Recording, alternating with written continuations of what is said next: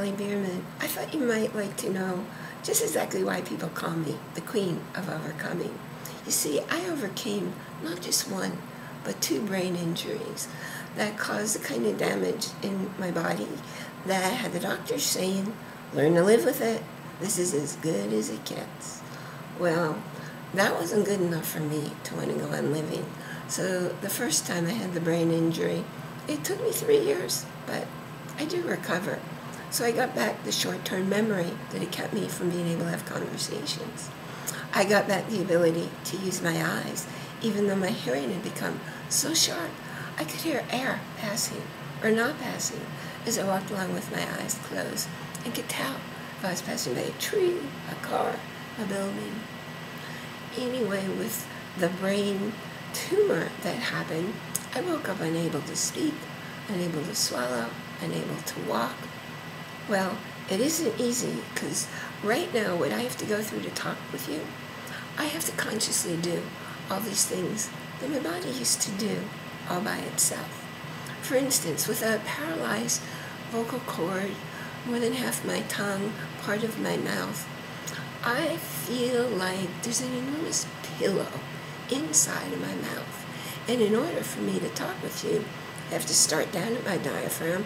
I have to tell my body, put up enough air to get through my speech box, through my mouth, and avoid chomping on my tongue and moving the part of my lips that I can move so I can speak clearly. You can hear me and you can understand me. Oh, but it gets even more fun than that. Didn't Helen Keller say life is either an adventure or it's nothing? Do you know that we have swallow muscles? Well, you probably never thought of it before.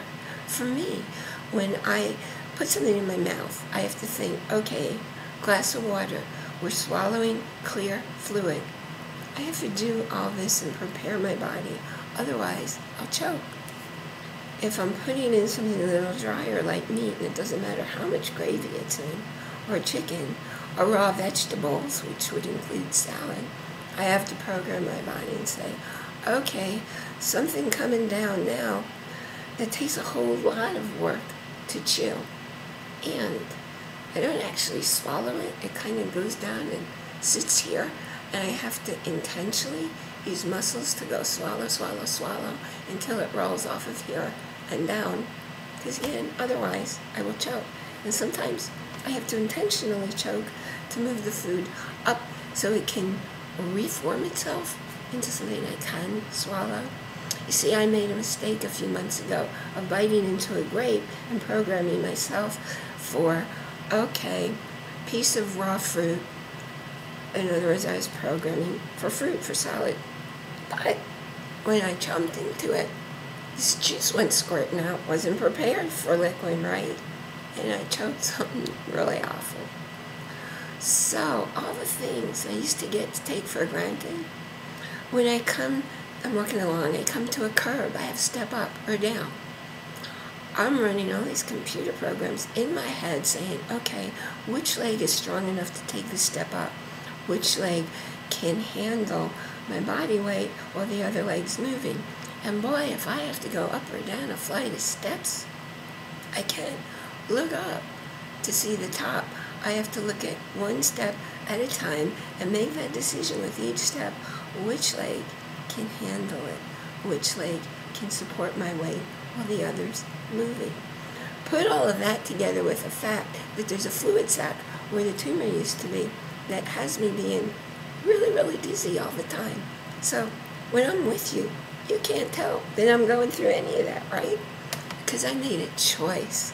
I made a choice not just to survive, but to thrive.